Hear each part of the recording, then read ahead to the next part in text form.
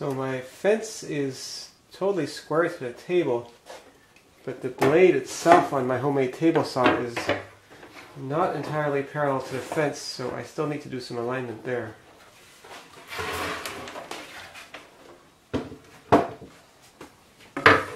So if you want to build your own table saw, you'll probably be checking it with a square a lot.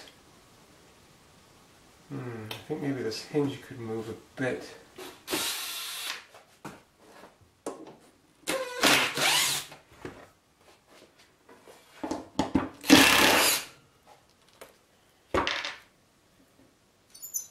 Hmm. I just expanded the countersinks on those holes on one side a bit and I added another screw to pull this hinge over a bit so should be all aligned now. Checking the blade alignment now, it looks like my blade is still a little bit this way instead of parallel. And the problem with a homemade table saw is there's just so many more things that can be out of alignment. It could be that this shaft is not quite lined up or it could be that this shaft is not entirely parallel to this shaft and so there's a lot of checking with the square and all that that I have to do.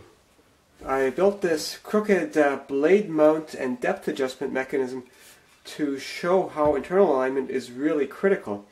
So imagine the blade on here is mounted crooked um, like so so we can just change the way the whole assembly is mounted and now it will cut straight. But now as soon as I change the depth of cut setting, so I just tilt this up, and now the blade actually has rotated a little bit this way, and it's also rotated this way.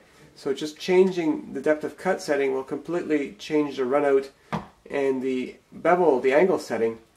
So if this axis here is not parallel to this axis here, it just messes everything up all the time. Hmm. There's so many things on this saw that could be crooked. I'm just using these squares to try to eyeball it.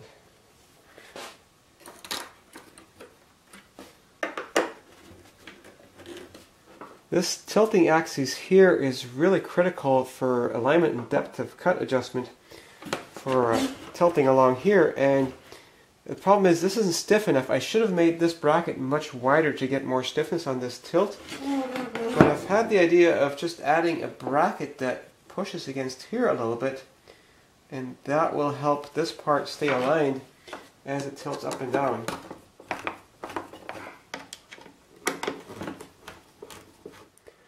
So here's a word of caution about building your own table saw out of a circular saw like this. On any table saw of any decent quality, there's a relatively large arbor flange that is press fit onto the shaft, so this forms a really rigid connection with the arbor and it won't wobble, and that gives a lot of support for the blade. On most handheld circular saws, and on really cheap table saws, the arbor flange is just this piece that loosely fits onto the shaft. So with this tiny arbor flange being on there just pushed against the shoulder, that doesn't provide a very stable support for the blade on here. So no matter how precisely you make the mechanism, it will never be as good as even a moderate quality table saw.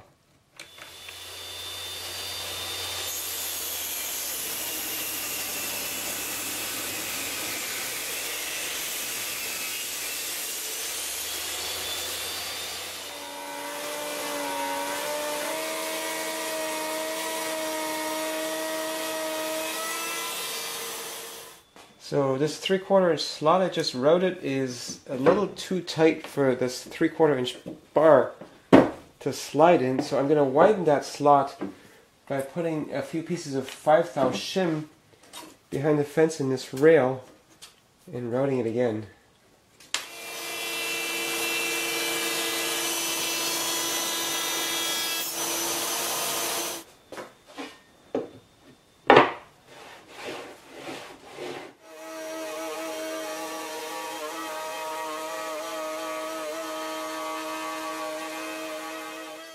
So now with the miter slots cut in, it does unfortunately cut away half the thickness of the plywood where they are.